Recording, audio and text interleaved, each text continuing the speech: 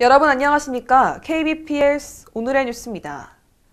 수원시가 시청 중회의실에서 제3회 교통정책 발전 포럼을 열고 현재 수립 중인 교통계획을 알렸습니다.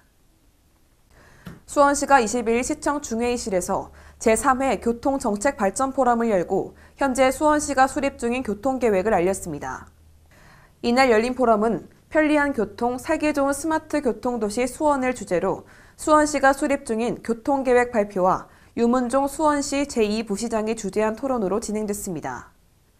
현재 수원시가 수립 중인 교통계획은 도시교통 정비계획, 지역교통안전 기본계획 및 실행계획, 지방교통약자 이동편의 증진계획, 보행안전 및 편의 증진 기본계획 및 실행계획, 개인형 이동수단 안전 편의 증진 종합계획 등입니다.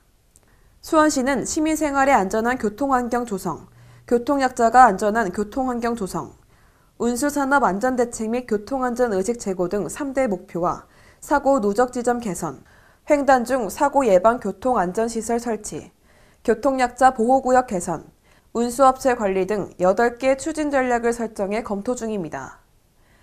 유문종 제2부시장은 도시교통의 주체가 자동차에서 사람으로 변화하는 패러다임 전환기에 적절하게 대응할 수 있는 교통계획을 체계적으로 수립할 것이라며 수원시가 살기 좋은 스마트 교통도시로 발전하도록 노력하겠다고 말했습니다.